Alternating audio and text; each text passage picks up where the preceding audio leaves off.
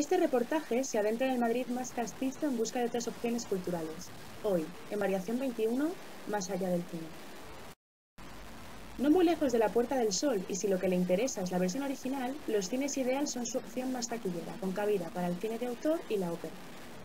Más al norte, Cine Verdi también aboga por la versión original.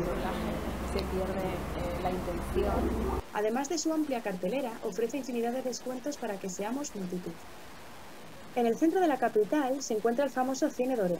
Perteneciente a la Filmoteca Española y rescatado por el Ministerio de Cultura, recoge en su interior grandes sorpresas cinematográficas por tan solo dos euros. Uno de los barrios más populares de la capital acoge al Café Quino, que apuesta por el cine independiente nacional. Su encantadora cafetería alberga en la trastienda una sala de cine que hace que sus espectadores se sientan como en casa. A pata o en metro, la oferta cultural en Madrid está más cerca de lo que parece. Olvídense de que el séptimo arte no es accesible para todos los públicos y atrévanse a visitar la sala de cine alternativas que pueblan la capital.